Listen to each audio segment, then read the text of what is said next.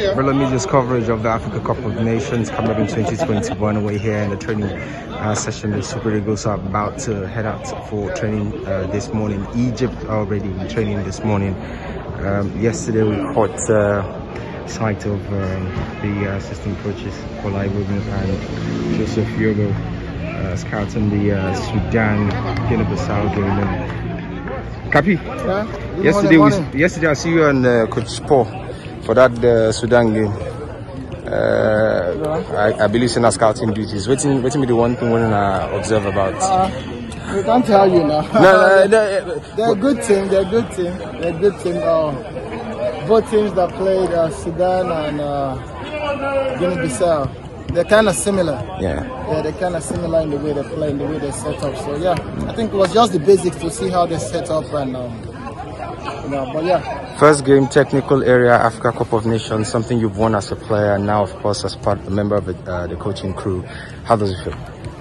It feels good. It feels good. I think um, still different departments. Or you know, this is my first time with the technical crew. So, the, as a player, I had the whole experience this AFCON. So yeah. But that's why we bring the experience in to let the younger ones coming through to know how it works. There, you know, African football doesn't come easy. Yeah. It is actually sometimes a bit more physical than Yeah. the European game. So yeah, you have to be ready and prepared. You were a fantastic centre back uh, in your days. Uh, I'm sure these guys have one or two things uh, they learned from you, but also uh, that you point out to them during uh, game situations. Um, any particular things you've helped them, you know, work on, especially knowing that of course they'll be playing on the continent. The first game is gone, of course, but you know, more challenges to come.